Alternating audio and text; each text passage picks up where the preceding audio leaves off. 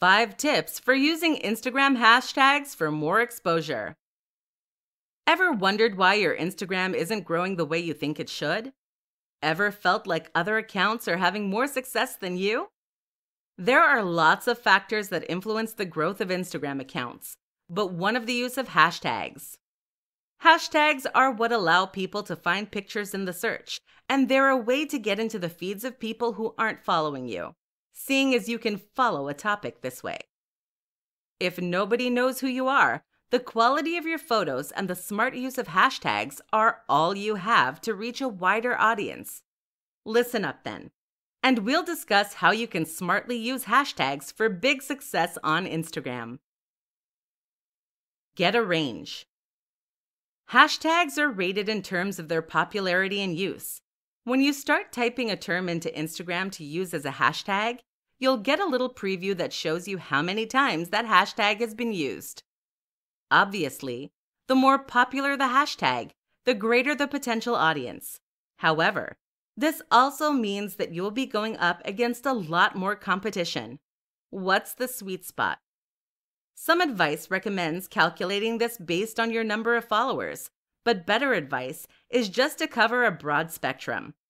So you may have some broad and popular tags with 15 million posts, but also some much smaller ones with 1,000 or 10,000 posts. Consider using branded hashtags. Branded hashtags are hashtags of your company or product name.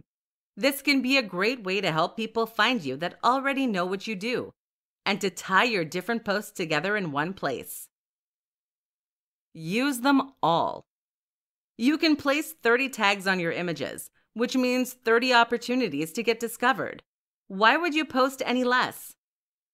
As one influencer put it, if you have 30 free opportunities to play the lottery, don't just play once.